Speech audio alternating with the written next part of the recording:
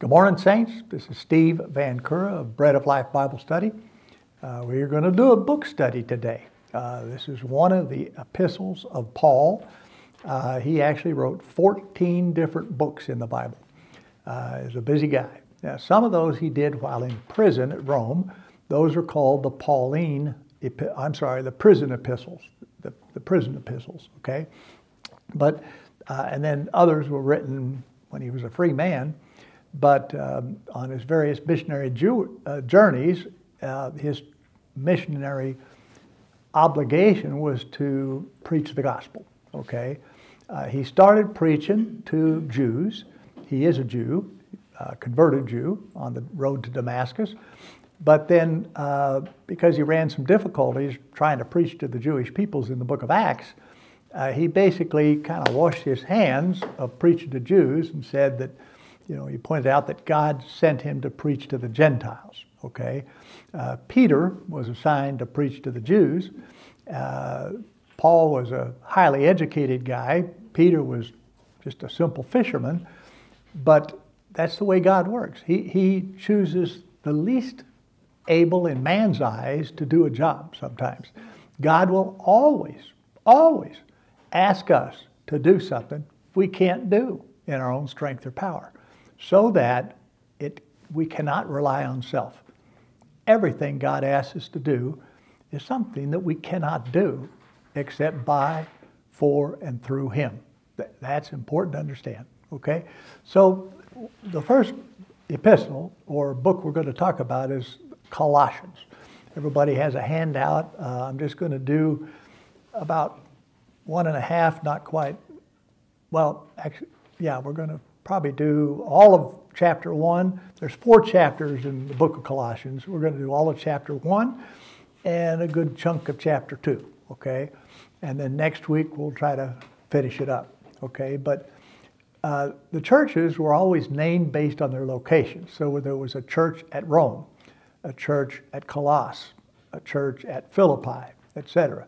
Uh, and so it, they didn't have denominations. There were no denominations. All right. Um, of course, some people try to divide things up. I am of Paul, you know, I am of Apollos, or whatever, different people's doctrines and things of this sort. But see, Christ is not divided, okay? Denominations are entirely a development of man, okay? They're doctrines of men. Why do we have thousands and thousands of denominations, okay? Uh, but they, denominationalism is basically to take the body of Christ and chop it all up into little pieces and give each one a name based on their doctrines. And what are those doctrines? Doctrines of men, okay? The vast majority of them, okay? Uh, the only truth that matters is the true, inspired Word of God. The Bible says that, uh, the, that prophecy is not subject to private interpretation. You know what that means? It means my little noodle brain up here is not able to understand this Word of God. The Word of God is God. That the Bible says holy men of old spake as they were moved by the Holy Ghost. You see, this Word of God literally is the life of God. And I cannot understand it in the natural realm. I have to, the only way I can really get the truth is through the Spirit of truth. And that's so important to understand.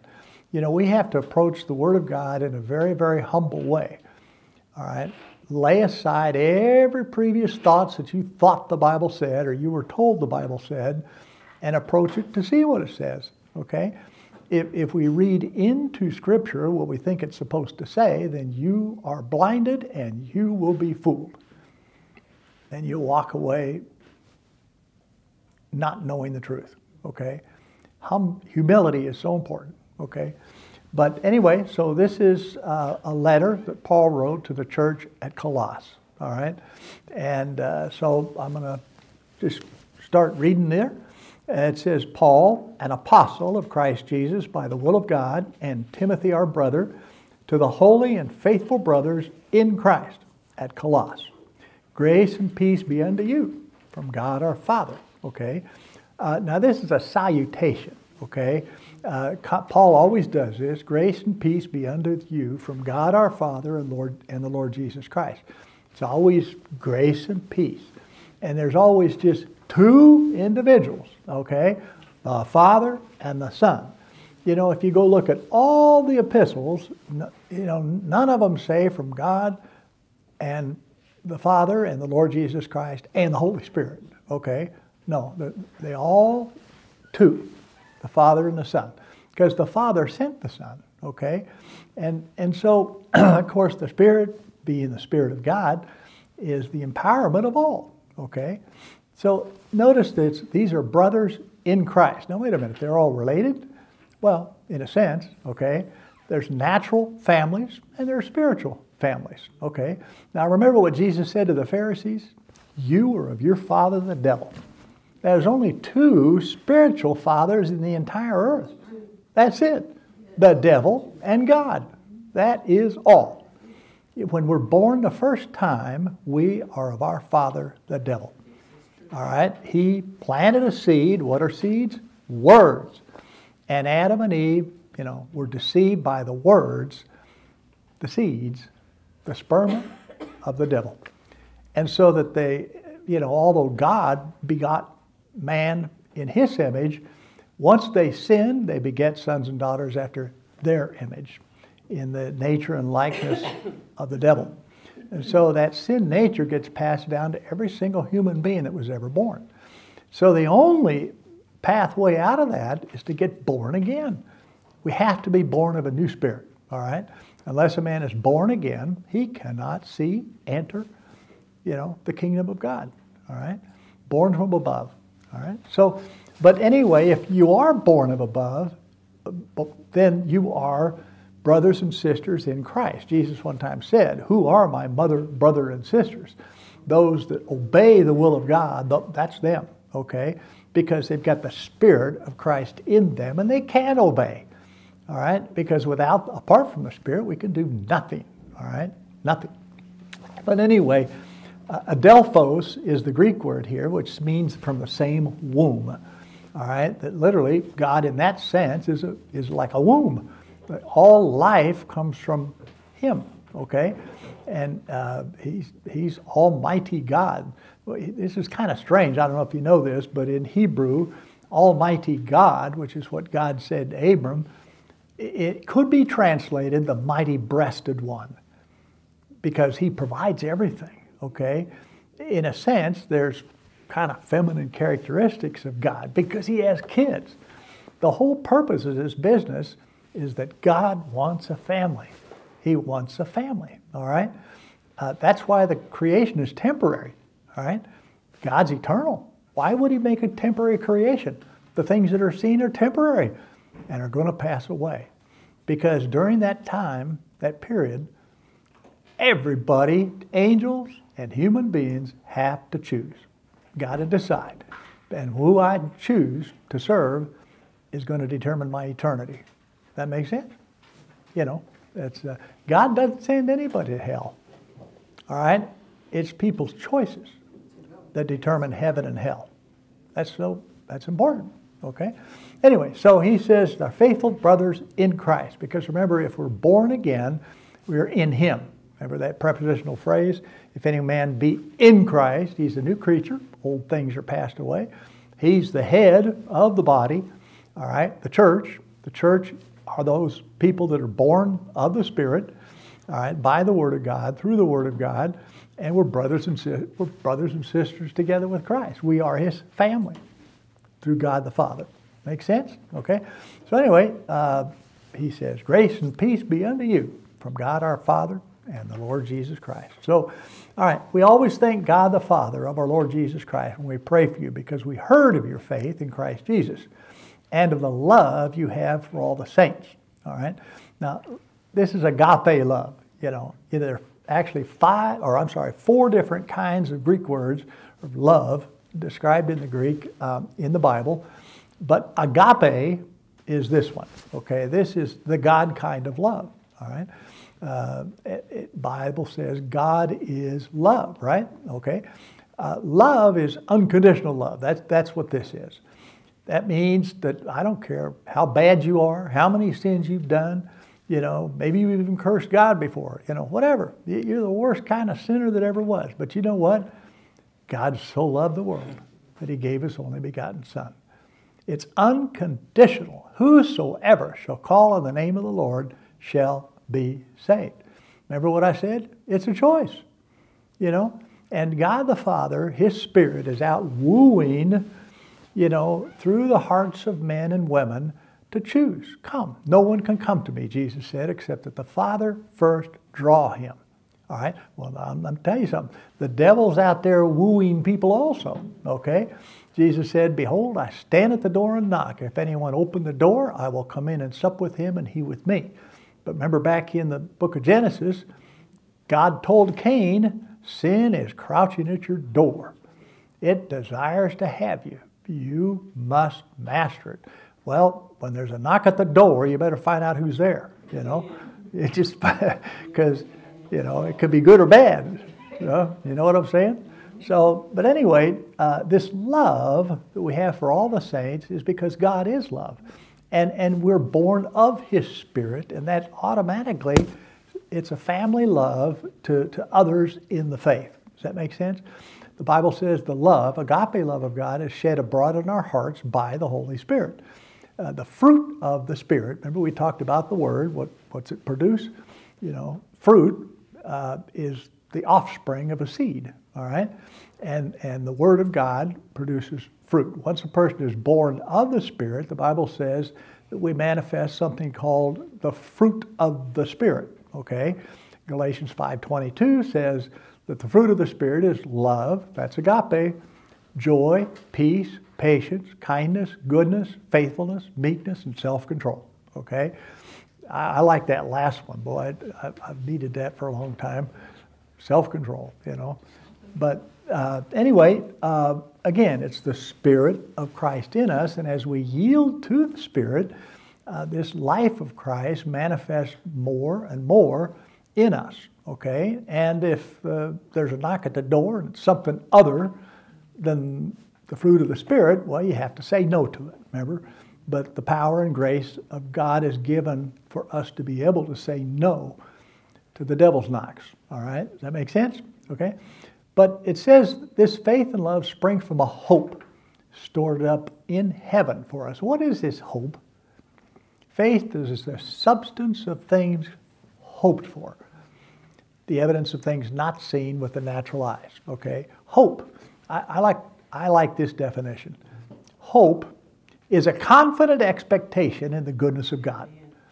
Oh man, I love that. It's just hope. Uh, you know, in, in Christ, we have hope. But what is that hope? This is his promise eternal life. That's the hope. That's it, okay? It's being born into the family, but in the process, we got to go through the wilderness and have tests and trials because God always tests our faith to see if I'm sincere, if I'm serious, you see, if I'll hold fast. He who holds fast to the end shall be saved. Okay? And, and so we are going to be tested, both by God, uh, and some of that is allowed by God, right?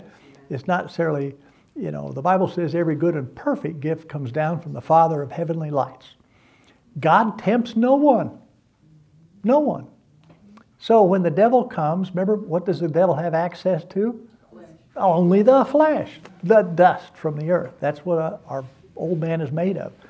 So the only thing that can respond to that temptation of the devil is the flesh. Now, I may not even know it's still there. I may think, man, I finally conquered all my flesh.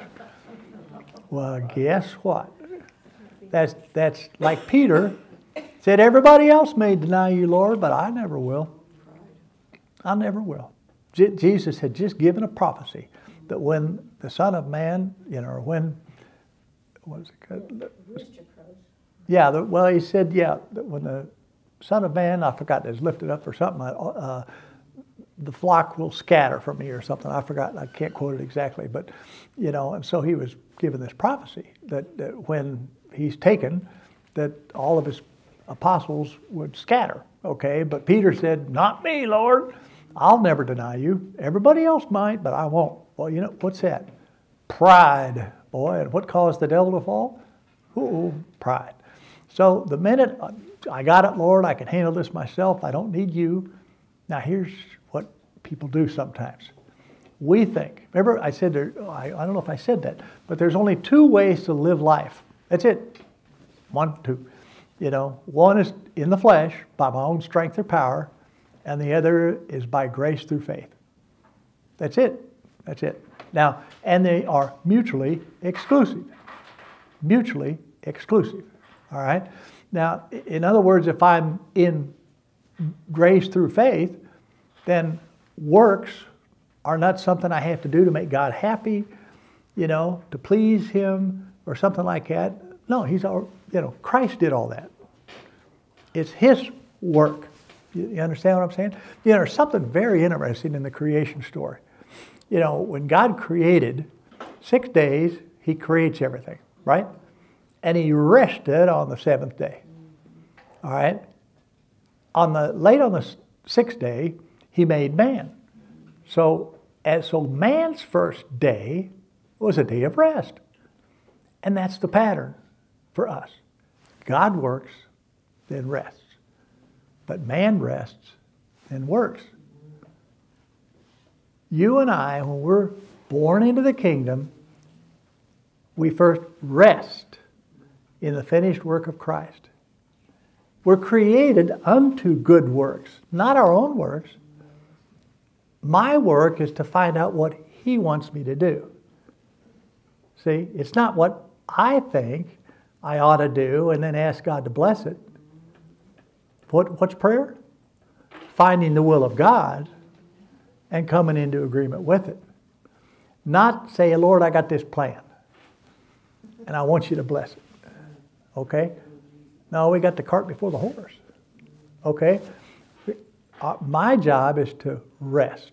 What, that's what the Sabbath is all about. The Sabbath is resting in the finished work of Christ. See, seek first the kingdom of God and his righteousness, and then all these other things will follow after us. Okay? So it, it's real easy to get to think that I need to do this, I need to do that, I need to do this, or whatever else like that, and miss God. Because I'm under works instead of grace. Does that make sense? Oh, that is so easy. I mean, just oops, you, you fall into it, okay? But see, that's what the flesh does. It's very proud of itself. The flesh is very proud of itself. I did this, I did that. But what did Jesus say? The flesh profiteth nothing. What did Jesus say? Of myself I can do nothing. I only do what I hear, you know, or I only say what I hear the Father saying. And the works that I do, it's not me, it's the Father in me that doeth the works. Okay? So sometimes we have to really stop and think about how am I approaching life? okay? It's very easy to mix these up. A little bit of spirit, a little bit of flesh, you know, uh, whatever. What's that? A little spirit and a little flesh, and you have denomination. Yes. Now, that's a good point because one of the things that Paul's going to talk about later are the doctrines of men that make void the power of God. It's so easy. Did you know? We say, well, we're not under the law. That's the Old Testament, the law of Moses. But did you, did you know that we can create all kinds of laws for ourselves. And denominations make all kinds of laws. Got to do this, don't do that, whatever, you know. You know, I, I, I know in the Old Testament, for example, says you're not supposed to eat pork, you're not supposed to eat catfish because they're bottom feeders or whatever, all else like that. But and I know people, but Paul said everything is sanctified by the word of God and prayer. It's okay, you can eat it, you know. All right even even food sacrificed to idols, but don't eat it in somebody that know, you know in front of somebody to lead them astray. You know what I'm saying? But um, the, it's so easy again for somebody else's rules and regulation. And I, I know I know people that say, "Well, I would never eat pork." You know, I would never do it. You know, okay, that's fine. You know, if you're Bible said, Paul said, I, I do everything to maintain a clean conscience before God and man. But he also said, sometimes to the Jews, I become like a Jew. You know, to vegetarians, I'll be a vegetarian. Okay, whatever. But whatever it takes that I don't cause anybody to stumble. Okay? And, and a clean conscience is not to do something against your heart. Okay? Now, I'm going to tell you something. Sin for one person may be not a sin for somebody else. That, you understand that? Yes. Okay. Now, let's just say a guy, a guy used to be an alcoholic or whatever else like that, and he is resolved, I should not touch any of that stuff. And so he never does. And, and if he ever, somebody offered him a little sip of wine or something like that, he'd know. No, no, no, no, no, no. I, you know, I can't do that. But everyone has to follow their own conscience. That's what God gave us, a moral compass down inside, and it's different for everybody. But you had to be true to your conscience, okay? And if we get out of line, then if we fail, then we confess our sins because He's faithful and just and will forgive us our sins and to cleanse us from all unrighteousness. Okay, so I'm the one that's got to walk my line. Does that, that make sense? All right. You know. Now I'm going to say, as we grow in the faith, I'll find out maybe something I didn't think I should, you know, should never do or something like that. You know, I'll, I'll change my understanding, perspective of something. Okay. All right. Now I can't get too bogged down here, but let's move on. Okay. So the hope that's is is up there is um, eternal life. Okay. Now it says this is this word of truth, the gospel has come to you all over the world. This gospel is bearing fruit and growing. Okay, because remember it's the sperma, it's the seed. The sower is the Son of Man, the seed is the Word of God, and the soil of the hearts of men. All right, just as it has been doing since the day you heard it and understood God's grace in all its truth. I'm not ashamed of the gospel. It is the power of God unto salvation to everyone that believes, to the Jew first and also the Greek. Okay? So, Epaphras, it says you learned it, the gospel, from Epaphras. Okay? The dear fellow servant. Now, Epaphras was apparently the guy that went to Colossus, preached the gospel, and a bunch of people were born again, and this church at Colossus was birthed. Okay? And now Paul is sending these follow up letters, you know, uh, to see how you guys doing. Uh, you know, in the meantime, he's getting reports about things they're getting confused about, things they're doing right. So all of Paul's epistles include usually some correction and exhortation um, and whatever it takes, you know, because he's trying to teach them as an apostle. That's what he is. He, he is a in a sense, a, an arm of Christ. All right. Remember, Ephesians 4:11 says, "When Jesus ascended upon high, He gave gifts unto men, some apostles, prophets, pastors, teachers, and evangelists." Okay, for them to teach the saints to do the work of the ministry. All right. Now, sometimes we think, well, the clergy, the apostles, prophets, pastors, teachers, and evangelists, their job is to do the work of the ministry. No, no, no, no, no, no. Their job is to train us to do the work of the ministry. We're the one that goes that goes to prisons, get on the street, preach the gospel, you know, pray for people, on and on and on and on. Okay, uh, we have a job. Remember, we're created unto what? Good works. All right, and, and, and the good works are teaching, preaching, healing. You know, this work of the ministry. Okay, and for that, God gives gifts. Now, these, you know, fivefold gifts apostle, prophet, pastor, teacher, evangelist those are called ordination offices of the Spirit. They- okay? There, there, are, uh, there are gifts of the Spirit, offices of the Spirit, uh, and there is fruit of the Spirit. Okay? See that? The fruit of the Spirit, that's what I already said love, joy, peace, patience, etc. That is simply the nature, likeness, and character of Christ, which I will manifest if He lives in me. That's the fruit of the Spirit. That's the fruit if somebody looks and watches you or something like that. Jesus said, By their fruit you shall know them. Now, if I'm cussing up a storm or stealing things, they're going to say, oh, that's not the right fruit. You know, that doesn't fit. Okay, it's somebody who says something but doesn't live it. Okay, you know what that's called? A hypocrite. Now, let, uh, let me just explain. Because many people that are in church haven't really experienced a born again birth, okay, by the Spirit. They're, they believe Jesus is Lord because men said so. Does that make sense? So if their heart hasn't changed, then they may not bear the fruit. Okay? Does that make sense? All right. The fruit is the proof of the pudding. All right. Does that make sense? But I'm going to tell you something. It's a terrible thing to be going to church and trying to be what you're not. You're trying to be on the outside what you're not on the inside. You understand what I'm saying? That's what a hypocrite is. And, but that's a very painful place to be because the person in that boat doesn't understand what's going on. Usually because somebody's never stopped to explain all this, you know. If, if you know, if that's my job, that's your job, okay?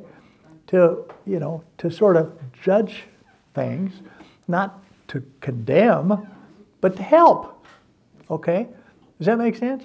And, and so, anyway, um, all right. So, anyway, Epaphras was the guy who brought the gospel, preached the gospel.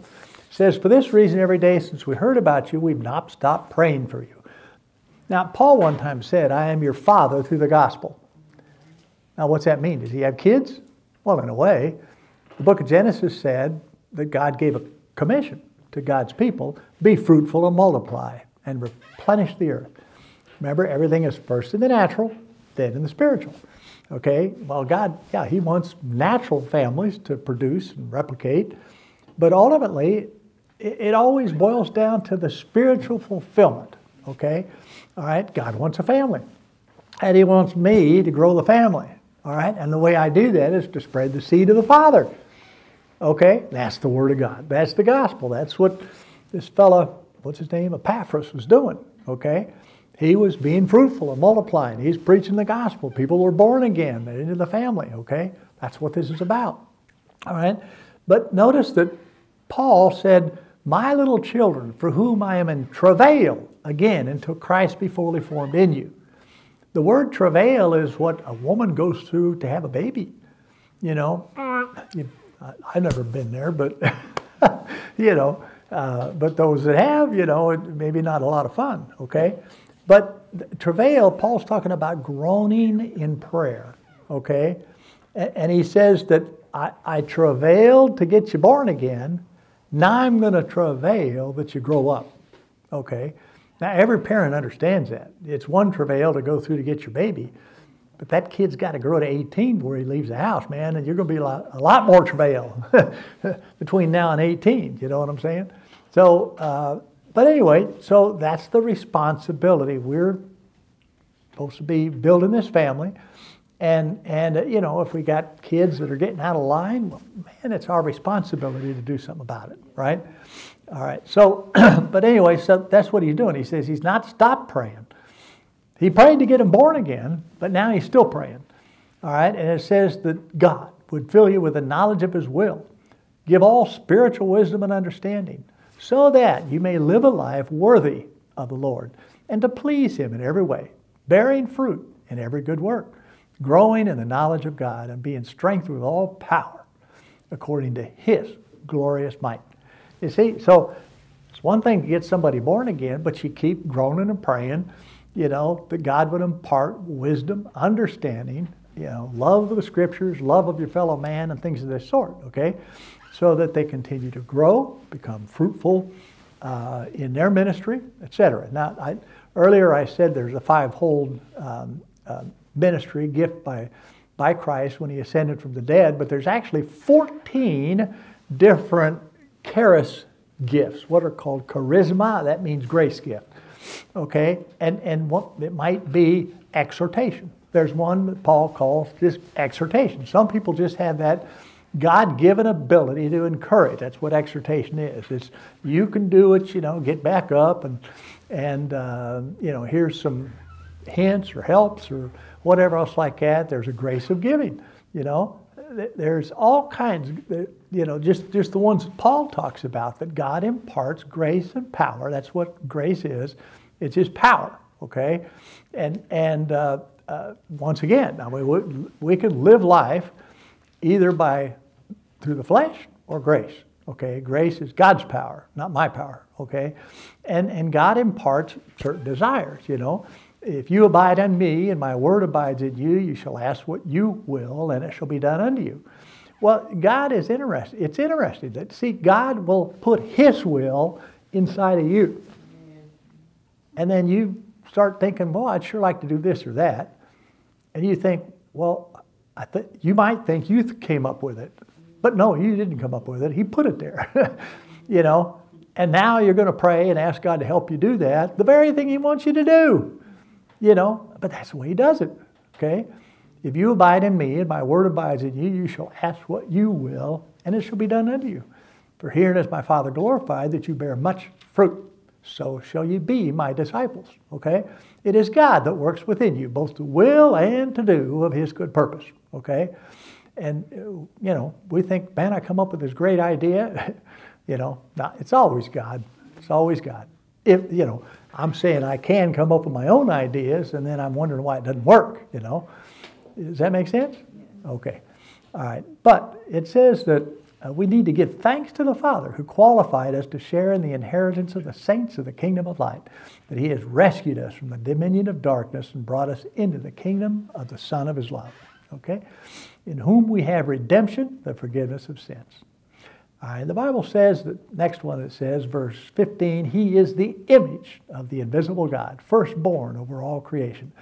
By Him all things were created, by and for Him, in heaven, earth, visible and invisible, thrones or powers or rulers and authorities. He is before all things, and in Him all things hold together. He is the head of the body, the church. He is the beginning and the firstborn from among the dead, so that in everything He is the supreme. I know, wow, this is, this is amazing. You know what's interesting? If you go to the Old Testament and then the New Testament, you go to the Old Testament, for example, creation. In the beginning, God created the heavens and the earth. And the earth was formless and void, and there was darkness over the face of the deep. And God said, Light be. All right? Well, in the Old Testament, it says God, the Father. He's the creator, Elohim. Okay? Uh, Yahweh. And there is no other creator but Him. None. There's none beside me. No, not one. But then you go to the New Testament, whoops, and it says, no, Jesus is the creator. All things were made by, for, and through him. And there's not been anything made or created that wasn't by, for, and through him. Now, wait a second. I just read in the Old Testament that Yahweh was the creator. And then in the New Testament, it says, no, no, no, no, no. And did you know that in the Old Testament, Yahweh says there's only one Savior? There's only one, and it's me. There's no other Savior but me. And then you go to the New Testament, and all over it calls Jesus the Savior. But notice this it says God was in Christ reconciling the world to himself. So who's the Savior? It's the Father through the Son. Who's the Creator? The Father through the Son. Does that make sense? All right. Now, who are you? All of the above. Ah, is that possible? Jesus said, to the guy down laying down there on the ground, Your sins are forgiven. And the Pharisees flipped out. Nobody can forgive sins but God. You know, but see, the man had a curse on him. Where did curses come from? Sin, disobedience. You know, So Jesus said, so that you understand, and I can prove that the Son of Man does have ability to forgive sin, he said to the man, Stand up, take up your mat, and go home. Boom. power of God flows. Well, the reason the guy was crippled because of sin. Somewhere, him, family line, you know, genetic, you know what, you know, familial curses. But he was healed. The curse was broken. You saw? That is proof. Now, you know, if I'm praying for somebody, and like that man who was crying out before God, there two men came up to pray. One was a publican, and he was yelling, hollering, couldn't even look up. And he was beating his chest, saying, Oh God, forgive me, a sinner. And another guy, a Pharisee, stands up and he said he prays to be seen by men, okay? And, and he starts bragging on himself. You know, I do this and that. I'm not like this publican over here, you know. Wow, his prayers didn't get any higher than the rafters, okay? You know, but Jesus said to the publican, now that man went away justified, all right? Well, can we tell somebody that God forgives you? I believe we can. yes. We have discerning of spirits. You can tell whether somebody's sincere on about something, you know, and they need a word of encouragement that God loves you exactly as you are. He does not judge you. You know, we can stand in the stead of Christ and minister in His power, in His ability here. Not mine, but we can be doers of that word, and God will honor His word. He said, These signs will follow those who believe. They'll lay hands on the sick, they'll recover, they'll speak in new tongues, okay? Uh, if they drink any deadly or you know demonic thing, it won't hurt them. Hurt them. You can handle snakes. Now that's not talking about handling snakes. It means dealing with demonic powers and whatever. You know what I'm saying? But you know we have authority in the name of Jesus. We can do it. Okay. Anything He does, the things that I do, shall you do also, and even greater things than these shall you do, because I go unto the Father. So we can step out in faith and act and do. You know, when Elijah, he understood one time, he said, You know, except at my word, there shall be neither dew nor rain for three and a half years. And so then, when he prayed and he saw a little cloud about the size of a man's hand, he, he knew the time was up and the rain was going to start. And uh, Elisha, who had that anointing of Elijah, one time told a woman, he said, about this time next year, this woman didn't have any kids. He said, You're going to embrace a, a, a child, a male child.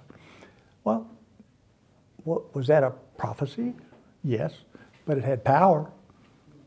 He spoke it, and it came to pass. And see, we can do that. We can do that.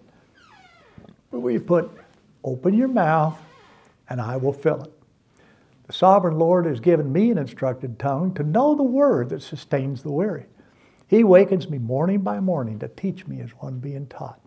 I've not been rebellious, I've not drawn back. The words that I speak are life. They're life to those that find them, healing to all their bones. And we can speak those words, okay? We put them in our mouth, in our hearts, and it comes out with power. Comes out with power. And, you know, that kind of stretches the denominational thinking, but that's what the Bible says. Okay? Make sense? All right. Now, he is the head of the body, the church, the beginning of the firstborn from among the dead. Now, what are we talking about? When sin entered the world, it, con- it, uh, it corrupted the entire world. I'll say it, the universe, okay? I don't think it touched heaven, you know, the third heaven or wherever God is, okay? But, you know, there's a corrupt heaven and earth down here, okay? And, God promises a new heaven and a new earth in which dwells righteousness, and evil will never arise again. He's talking about a new creation. Now, we entered the first creation through birth, all right? And we're going to, we enter the new creation through birth, all right? First is a natural birth, then comes a spiritual birth. But God, remember how God cleanses things? All right, all throughout the Old Testament, there's two ways. He, you know, for example, the articles of uh, furniture and uh, utensils and things like that they use in the tabernacle. Remember, the tabernacle is a type of you and I, okay? We are. Know ye not that you're the temple of the living God? You know, you're not your own. You've been bought with a price. All right. That in that tabernacle, there's a holy of holies, a holy place, and, and a court. You know, and but but all they had things that they used there, and they all had to be sanctified. They could not be used in a holy place. The whole temple was anointed with blood and uh, oil and all these kind of things, and sanctified with prayer, and and uh, to be had to be cleansed. God will not use an unclean vessel. Okay, that's there. There are vessels of honor and vessels of dishonor. And the scripture tells us that if we cleanse ourselves from dishonor, then God will be able to use us. All right? Then, all right? But He won't use an unclean vessel. Okay? Uh, so you remember when Jesus went into the temple and he turned over all the tables of money changers and all that kind of stuff? He cleansed the temple. All right? And, and that was something in the natural, but the same thing is true spiritually. Before He can use us, he has to cleanse us. All right. Now, the way he cleansed things was first by washing by water and then burning by fire. Wash by water, burning by fire. Now, that's going to be fulfilled in the entire creation. So, in Genesis chapter 6, when, the man, when mankind was corrupted all over the earth, God said, whoops, you know, all flesh has corrupted itself. I'm going to destroy all flesh. But he put eight people, Noah and his family, into the ark. What? There's three arks in the Bible. Three. Ark of Moses, Ark of the Covenant, and Noah's Ark. Noah's Ark had three levels, represents the three parts of your and my being. The ark is Christ. Okay? And when the judgment comes, it's first washed by water. And in the end, when judgment comes in the end, fire. The whole creation is destroyed by fire. See? Now, you and I, John the Baptist said, I baptize with water under repentance. But he who comes after me is going to baptize you with the Holy Ghost and with fire. Fire. Okay? Because for God, we can't go to heaven and be corrupt. Okay? Ain't to happen. It's not to happen. Okay? Uh, so we submit ourselves, therefore, unto God, you know, and yield all of our being to Him. And I can't save myself, I can't sanctify myself, but He can.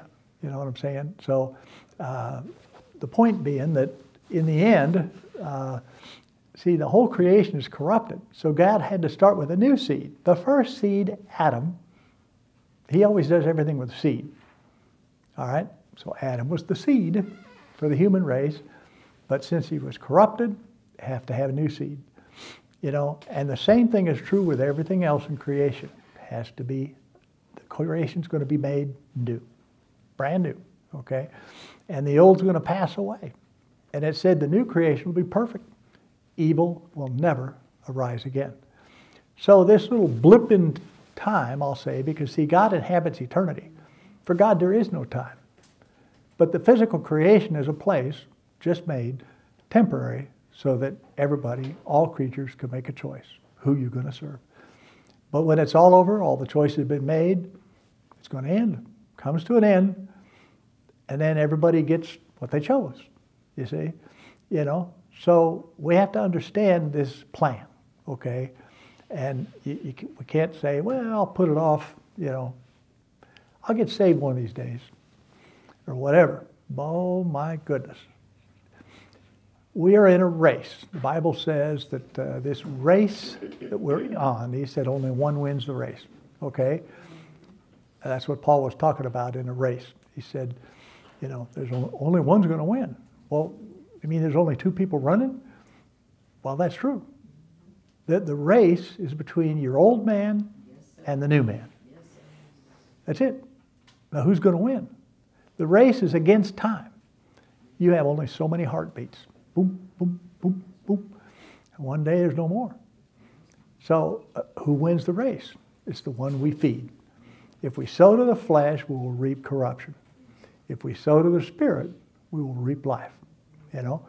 So this is not more complicated than we we think, you know. It's not that hard. But, you know, we have to choose. Choose ye this day whom ye shall serve. But as for me and my house, we're going to serve the Lord. And when we make the choice, then comes the helper. You know what the helper is, okay? The Holy Spirit. The Holy Spirit is the power, the ability, the way. I am the way to the Father. Nobody comes to the Father but by me. And when we make our choice, you're not the one that has to perform it and do it. No. Once, once we put our hand to the plow, the helper shows up. Okay?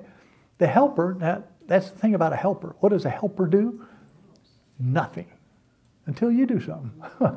you know, and as soon as I start, he jumps in and provides the power, the ability, the direction, and everything to accomplish God's will for me. Does that, does that make sense? You know? All right. So, okay, once you were alienated from God, enemies in your mind because of your evil, but now he has reconciled you by Christ's physical body through death to present you holy in his sight. You might say, well, I don't feel holy. That, well, see, holiness begin, has a beginning and a consummation or a finish. Okay, it starts in our inner man when we give a, get a new heart. Remember that incorruptible seed which is sown in our hearts, which is the life of Christ. You know, he that is born of God, that's him, the new man, cannot sin. He does not sin. He cannot sin because God's seed indwells him. And as I yield to that inner man in me, he, as I yield to him, he will, you know, run, run the show. You know, if I'm fighting against him, uh, you know, then, then I may not make a lot of progress, okay? But it says, you know, we just need to learn to yield to the, to the, to the Spirit, okay? Does that make sense? And, you know, um, I want you to notice this. It says, He has reconciled us by Christ's physical body through death to present you holy in His sight, without blemish. So these saints, the hagios, the holy ones, we are that because He indwells us, not because of our own goodness or anything else.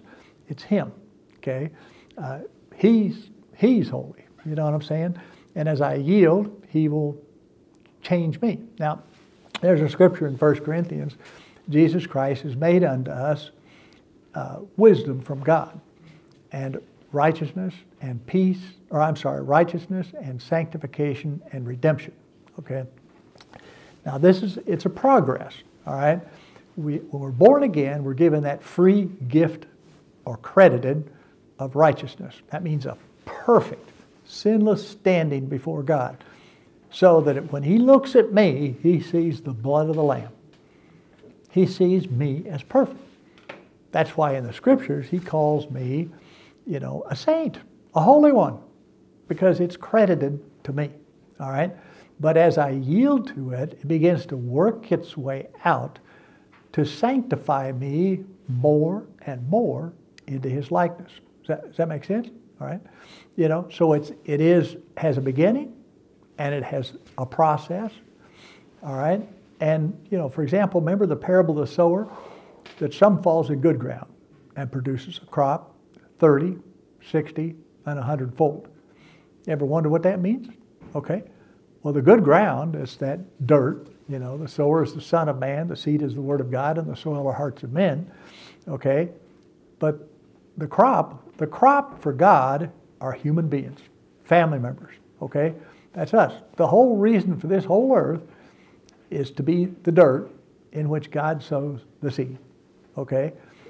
And, you know, when you grow a garden, and put some seed in the ground, and it's harvest time, you don't can the seed or can the dirt, do you? No.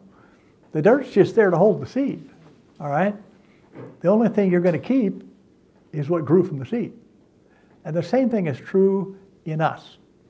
The dirt, see, flesh and blood cannot inherit the kingdom of God. God did, Jesus did not come to save our flesh. He's going to give us a new body, all right?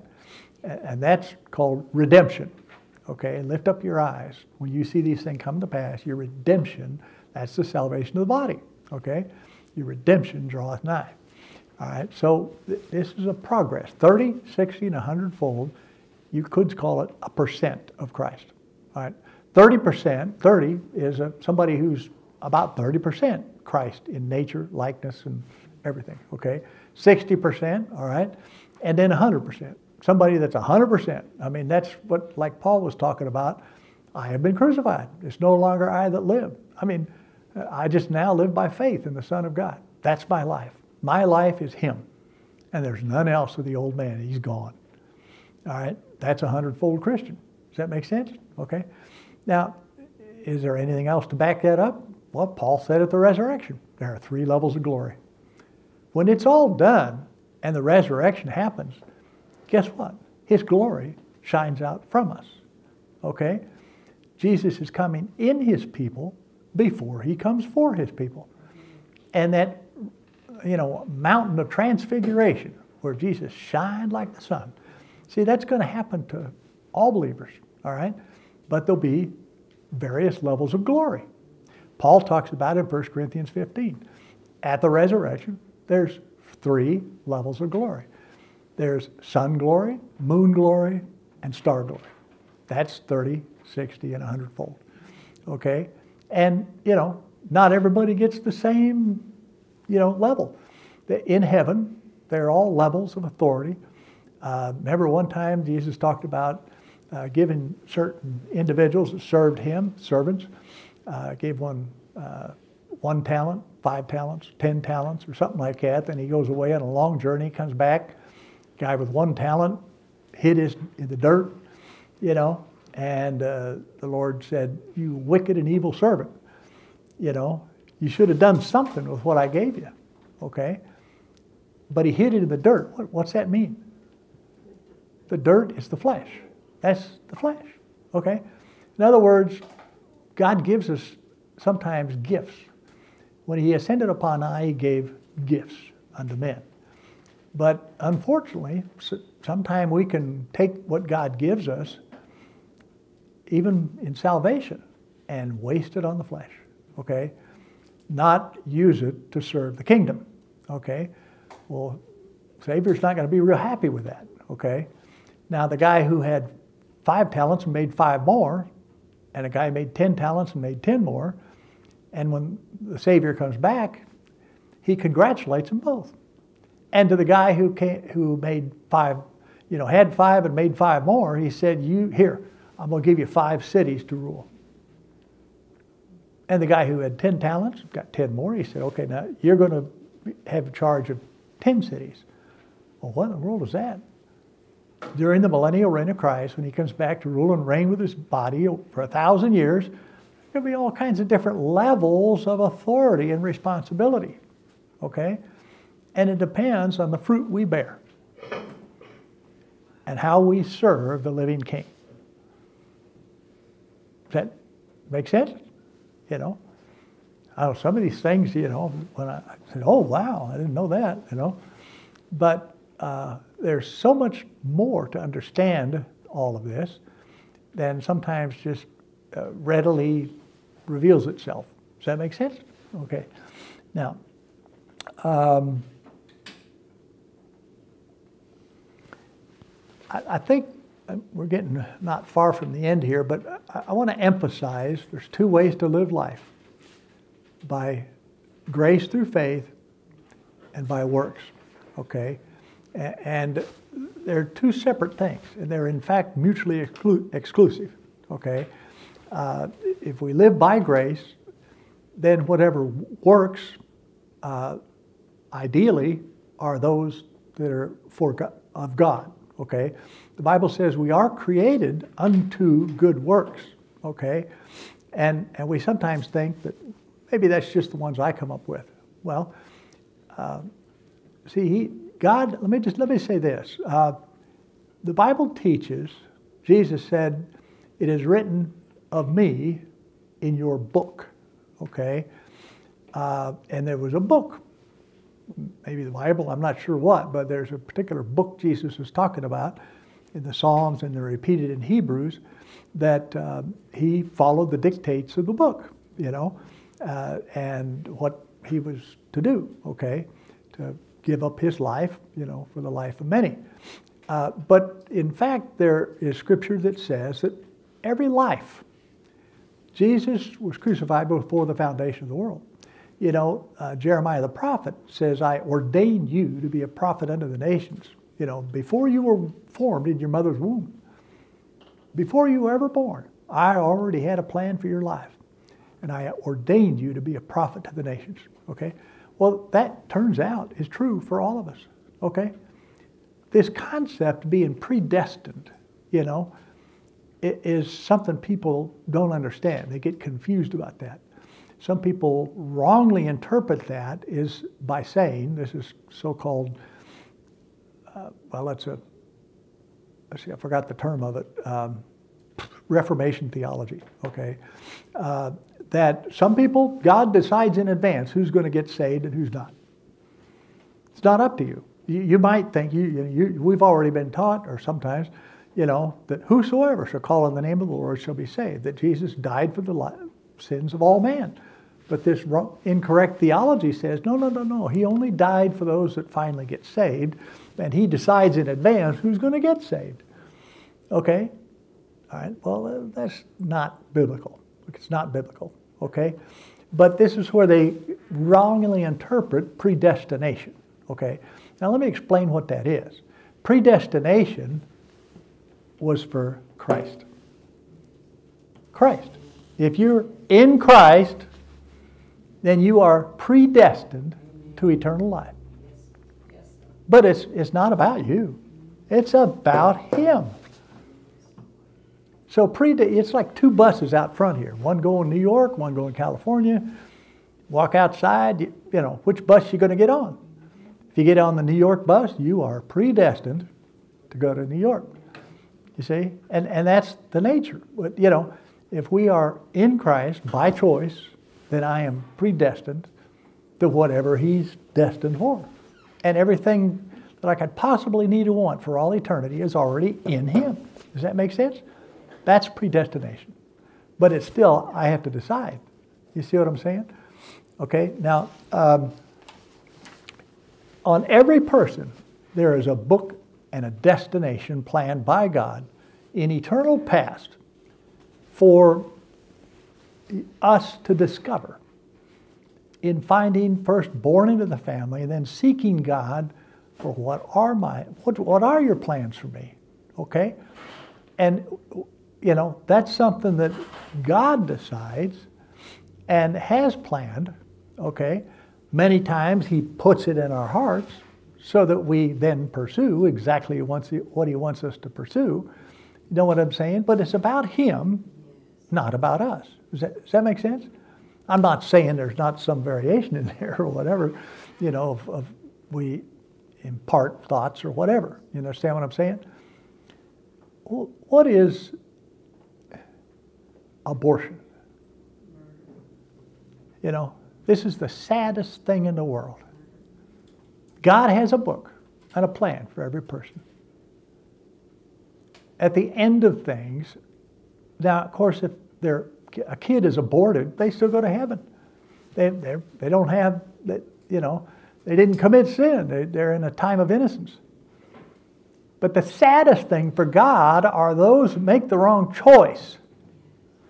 And in their book of plans and destinies, God closes the book and says, mission aborted.